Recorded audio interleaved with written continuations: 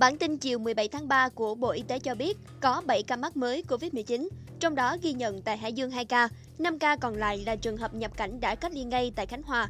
Việt Nam ghi nhận tổng cộng 2.567 bệnh nhân. Thông tin 7 ca mắc mới, từ bệnh nhân 2.561 đến bệnh nhân 2.567, cụ thể.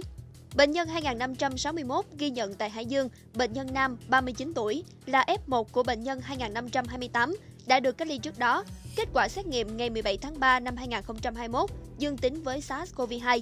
Hiện bệnh nhân đang được cách ly, điều trị tại Bệnh viện Giải chiến số 3, Bệnh viện Đa khoa tỉnh Hải Dương cơ sở 2. Bệnh nhân 2567 ghi nhận tại Hải Dương là bệnh nhân nữ, 21 tuổi, là F1 của bệnh nhân 2451 đã được cách ly trước đó.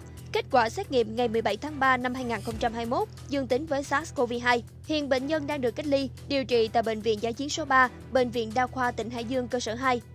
Các ca bệnh từ bệnh nhân 2562 đến bệnh nhân 2566 từ Liên bang Nga nhập cảnh sân bay Cam Ranh ngày 14 tháng 3 năm 2021 và được cách ly ngay sau khi nhập cảnh tại tỉnh Khánh Hòa. Kết quả xét nghiệm ngày 16 tháng 3 năm 2021, các bệnh nhân dương tính với SARS-CoV-2. Hiện các bệnh nhân trên được cách ly, điều trị tại Trung tâm Y tế Cam Lâm. Số người cách ly là 36.923, trong đó cách ly tập trung tại bệnh viện 496, cách ly tập trung tại cơ sở khác 17.396, cách ly tại nhà, nơi lưu trú 19.031. Theo báo cáo của Cục Quản lý Khám chữa bệnh Bộ Y tế, trong ngày có 40 bệnh nhân được công bố khỏi bệnh. Như vậy, đến thời điểm này, nước ta đã chữa khỏi 2.198 bệnh nhân COVID-19.